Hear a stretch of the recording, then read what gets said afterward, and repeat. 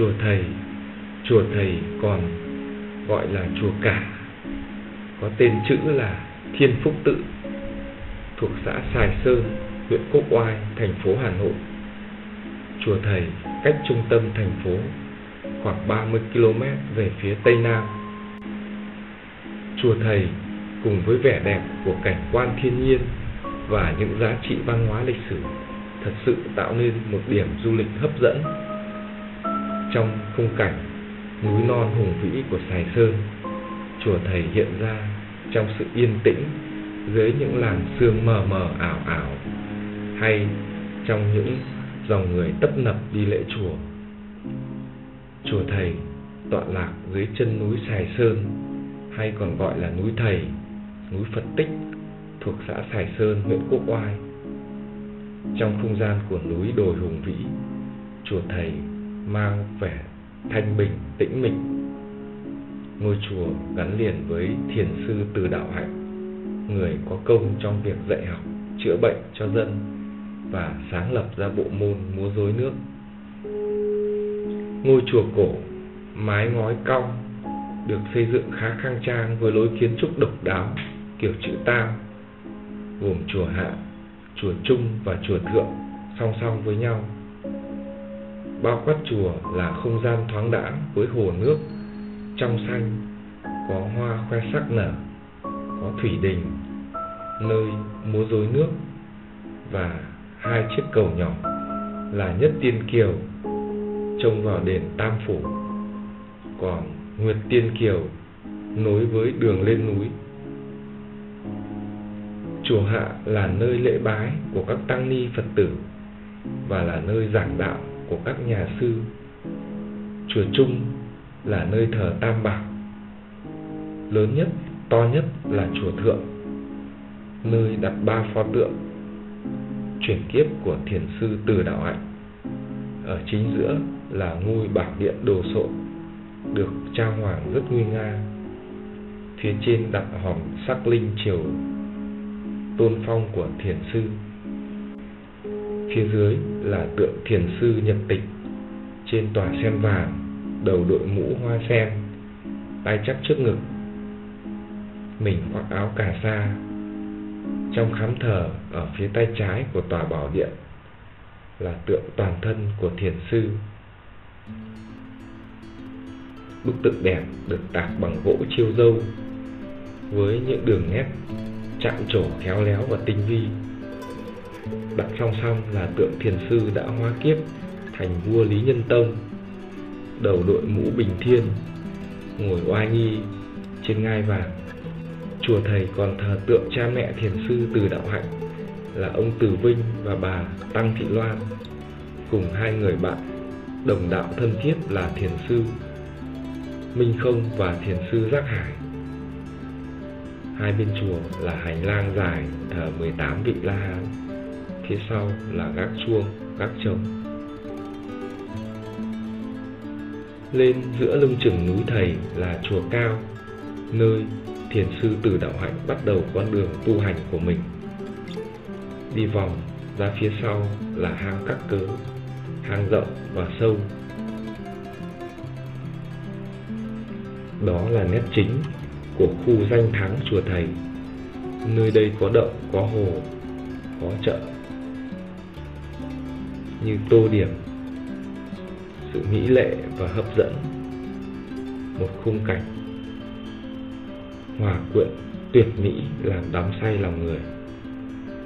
Thắng cảnh, chùa thầy đem đến cảm giác bình yên, thích thú nhưng lại rất lưu luyến lúc ra đi.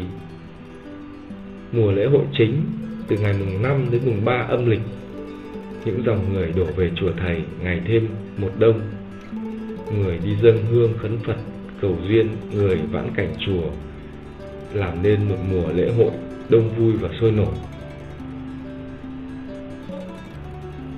Có dịp đến Hà Nội, các bạn hãy cùng tham quan vãn cảnh chùa thầy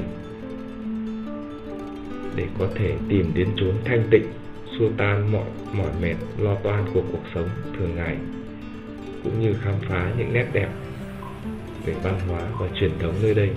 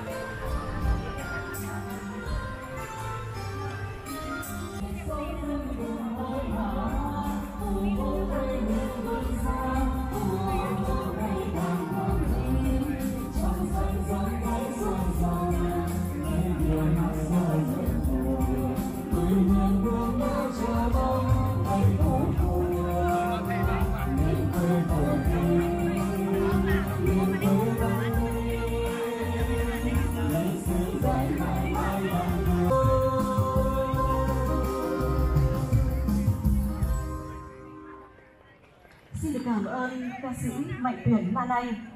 Và tiếp theo chương trình, xin được kính mời quý vị cùng đến với giọng ca nữ Kim Dung qua bài Trời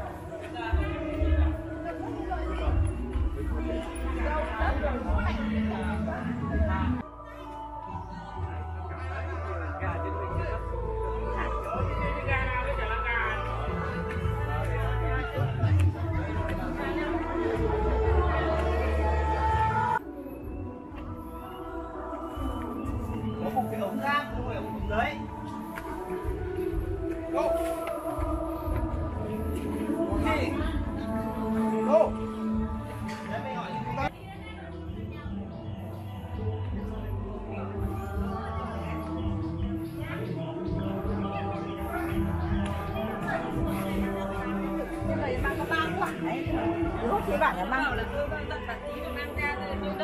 mang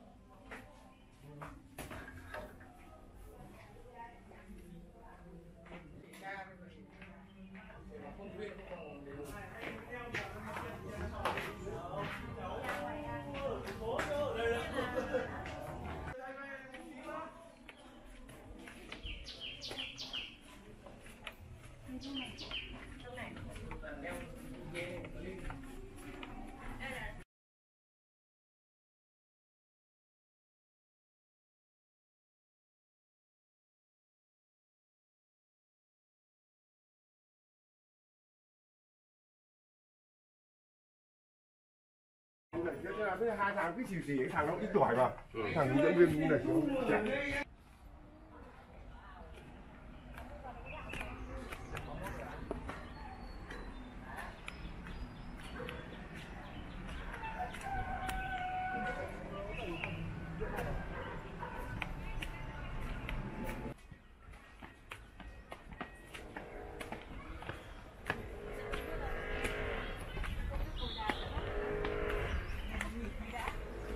ra nó nghỉ chuyện Giờ phải đi nốt